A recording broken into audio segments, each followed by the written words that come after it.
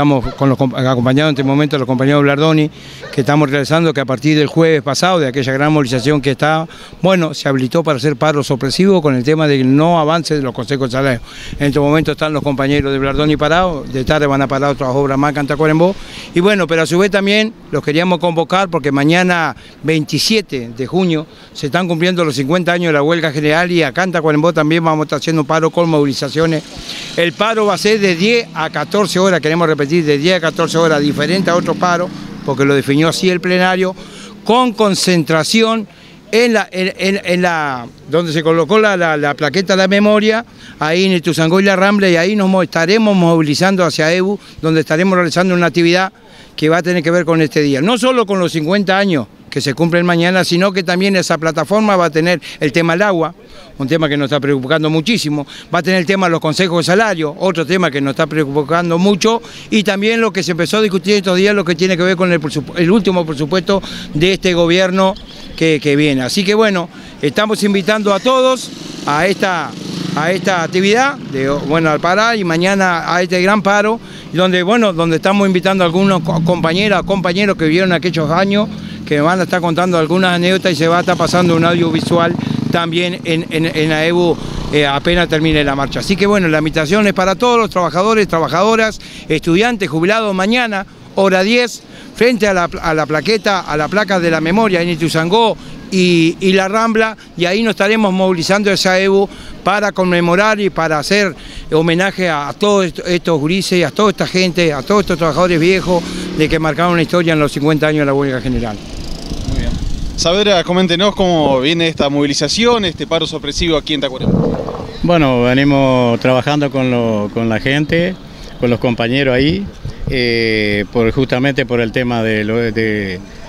los consejos de salario que se han trancado un poco. Y bueno, eh, estamos con los paros sorpresivos, eh, tratando de concientizar un poco más al, gobierno para que, bueno, de, una vez por todas no den a ver, el, nos marquen, el, aunque sea la, plataforma de, los consejos salarios. Y, seguiremos hasta que, bueno, eh, luchando hasta que esto se resuelva, ¿no? Bien, Mungay, para finalizar, ¿qué otros detalles podés aportar? Bien, nosotros, bueno, buenos días a todos.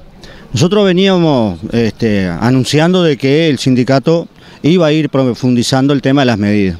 Lamentablemente, para el deseo de, los trabajadores, esto se ha, ido, se ha ido trancando, nosotros hemos ido insistiendo y hoy lo que nos está trancando sinceramente son de que hoy no tenemos unas pautas salariales claras de parte del Poder Ejecutivo. Entendemos de que en algunas cosas, porque también en algunas cosas hemos avanzado, ahora lo esencial y que también está dentro de la plataforma del sindicato, que es el reivindicativo económico, hoy estamos en una distancia bastante,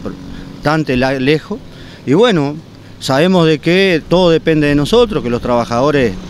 como, como ustedes lo han visto, hoy en, una realidad totalmente diferente, cuando se nos arrimamos y charlamos un poquito con ellos, tenemos este tipo de participación, como ustedes ven, una obra el 100% acatando y trabajando este, con, con esta expectativa que para la verdad que para nosotros es bastante compleja, pero bueno, seguiremos adelante y profundizando las medidas. Esta, es esta obra que que para nada más en el departamento Mungay o, hay alguna otra más que se pliega a, lo que es el paro, ya que se liberó por parte del propio Zunca a nivel nacional de que los paros fueran sorpresivos. Está claro, esto, esto es así, nosotros estamos trabajando en conjunto con los delegados de cada centro de trabajo y la dirección del sindicato hoy está dentro de los centros de trabajo.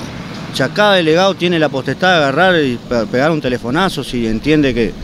que nos tenemos que arrimar para dar una mano, pero está en los trabajadores, el resorte de los trabajadores, de que cuando ellos entiendan de tener las tareas y, hacer este, un justo derecho de lo que son sus reivindicaciones.